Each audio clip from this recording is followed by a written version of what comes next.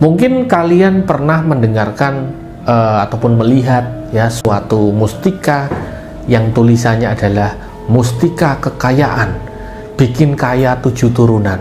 Nah, apakah itu benar? Apakah itu uh, real? Saya akan jelaskan pada video kali ini. Ya.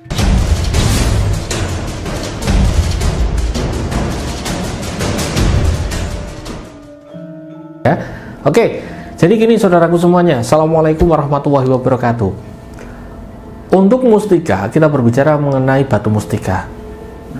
Dari tempat saya, saya pribadi, ketika seseorang ingin memahari mustika dari saya, yang wajib saya tanyakan adalah mungkin tanggal lahir, nama lengkap. Tujuannya untuk apa? Tujuannya untuk mencocokkan ya orang itu dengan mustika. Jika mustika ini saya rasa tidak sesuai, saya tidak akan memberikannya. Walaupun di mahar berapapun. Sempat beberapa uh, waktu yang lalu saya bikin video mengenai mustika yang ingin dimahar oleh orang lain 2 miliar, nggak dilepaskan, nggak saya lepaskan. Ya itu memang benar, ya saya tidak lepaskan. Ada yang mengatakan itu hoax, itu nggak mungkin orang itu mau 2 miliar, ya nggak nggak semacam itulah apalagi ini mustika untuk kekayaan. Di media sosial di mana pun pokoknya kalian pernah melihat mustika untuk kekayaan tujuh eh, mohon maaf kekayaan tujuh turunan. Bisa bikin kaya tujuh turunan ya. Saya ada mustikanya ya. Mau saya tunjukkan? Oke saya akan tunjukkan batu mustika yang bisa bikin kaya tujuh turunan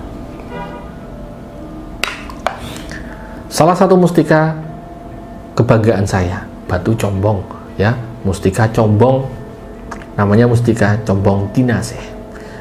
Apakah setelah saya bawa ini saya kaya tujuh turunan? Pertanyaannya itu. Apakah Ki Bagus punya mustika itu Ki Bagus kaya tujuh turunan? Saya mengatakan tidak semudah itu.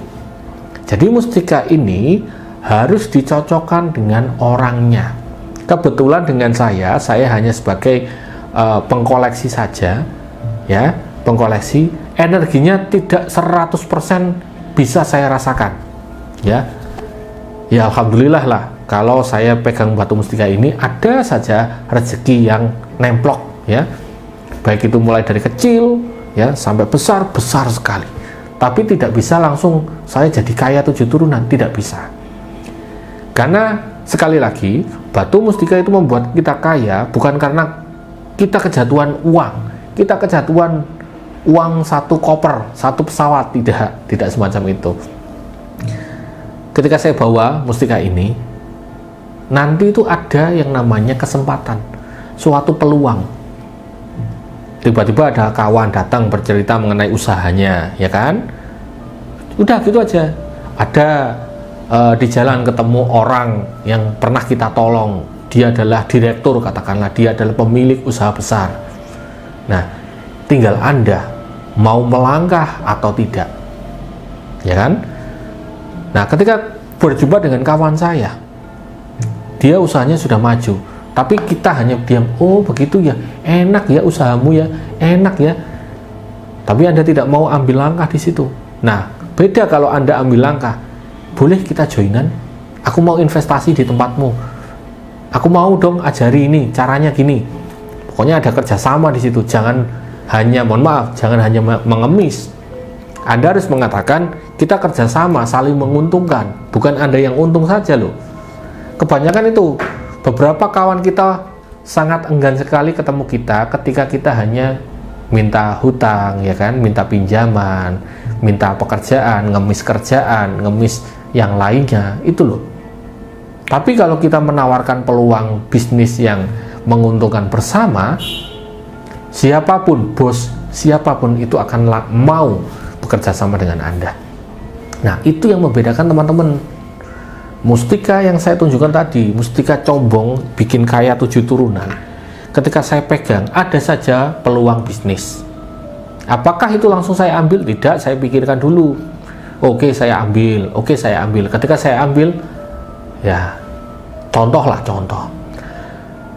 Dulu ketika saya sudah mendapatkan mustika ini ya ada tawaran ya ada tawaran saya uh, sebagai konsultan spiritualnya ya kan?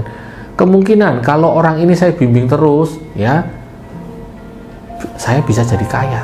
Karena orangnya adalah pemilik perusahaan besar. Ya kan? Tapi saya tidak bisa karena saya harus ikut ke kotanya pindah kota begitu loh. Tidak bisa ya. Akhirnya saya tidak ambil.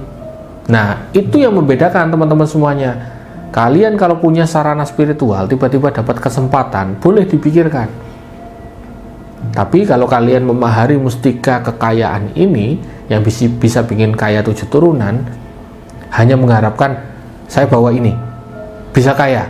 Kok nggak ada manfaatnya ki? Nah itu terserah anda kalau anda mau mengambil kesempatan yang datang ya insya Allah bisa kaya ya kan? Ketika anda bawa ini intinya itu anda akan lebih hatinya adem.